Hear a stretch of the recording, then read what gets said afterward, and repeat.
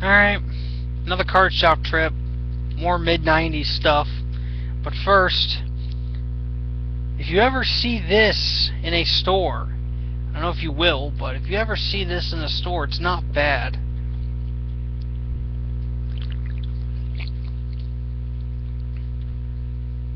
This is Sumol Pineapple.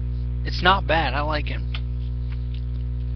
Anyway, uh, we've got some we've got some more mid 90s and mid 90s cards here. Basketball, total of 12 cards for five bucks.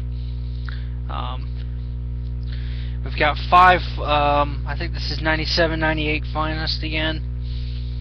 We've got Showstopper subset of Latrell Sprewell, a Defenders subset of Damon Stoudemire, a Finisher subset of the Mailman, Karl Malone, and two Masters subsets of Latrell Sprewell and Damon Stoudemire.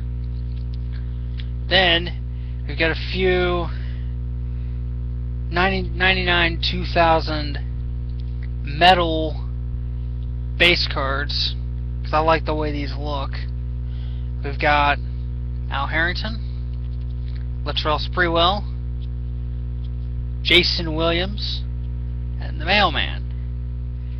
Then we've got a 1996, I'm guessing, no, 1999, excuse me, 1999 success, Collector's Edge success successors insert of Jason Terry and I'll take this out of the sleeve so you can see this but it is actually no it is actually uh, see-through so you can actually it's translu it's transparent in some parts of it. You can actually see through it. Or translucent, I don't know. Then you've got a Platinum Portraits of Jason Terry from 99 2000 metal. And then a 99 2000 Impact base card of Karl Malone.